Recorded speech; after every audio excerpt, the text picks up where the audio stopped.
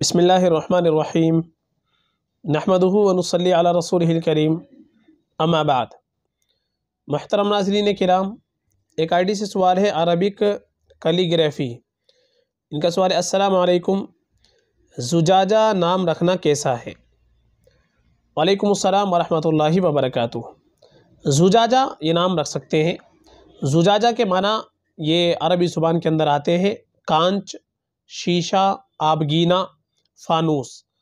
تو زجاجہ قرآن کریم کے اندر بھی یہ ذکر آیا الزجاجۃ کأنہا کوکب دری یوقد تو زجاجہ اس کے اندر یہ فانوس کے معنی میں آتا ہے۔ تو زجاجہ نام لڑکی کا رکھ سکتے ہیں، معنی کے اعتبار سے اچھا نام ہے، کوئی خرابی نہیں ہے۔ اسی طرح سے ایک صاحبہ ہیں، زبیدہ النساء ان کا سوال ہے، السلام علیکم۔